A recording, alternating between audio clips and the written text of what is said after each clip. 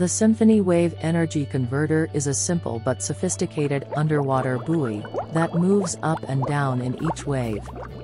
Its construction is based on a core that is connected to the seabed, and a hull that can move along this core. Between the core and the hull a rubber roll seal guides the two parts. The roll seal acts as a pump and pushes the internal liquid through a turbine into a spring chamber.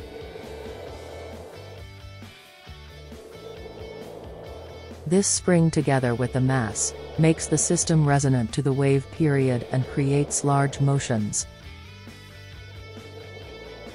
These large motions make the system act as a point absorber for wave energy, and creates the very high efficiency of symphony wave power.